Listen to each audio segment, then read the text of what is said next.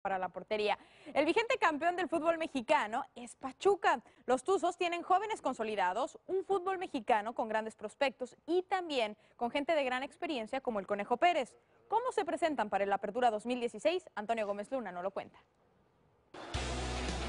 El actual campeón del fútbol mexicano tendrá en esta Apertura 2016 la misión de defender su corona partido a partido. Después de conseguir el título del torneo pasado, el Pachuca busca mantenerse en lo más alto de la liga. Para ello, el equipo de Diego Alonso se reforzó con jugadores como Raúl López y David Ramírez, provenientes de Chivas, y Wilson Morelo, que descendió con Dorados la temporada pasada. El grupo está, muy bien, con muchas ganas de, de poder empezar nuevamente a competir.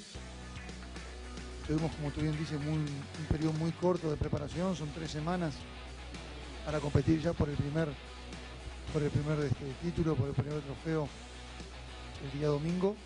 Además, los de la Bella Irosa tendrán también en este semestre un nuevo reto, la Liga de Campeones de la CONCACAF. Es la oportunidad para que los Tuzos regresen a su cuarto Mundial de Clubes. Pachuca debutará en la apertura, recibiendo a León en la jornada 1. Brian Carmona y Antonio Gómez Luna, Univisión Deportes.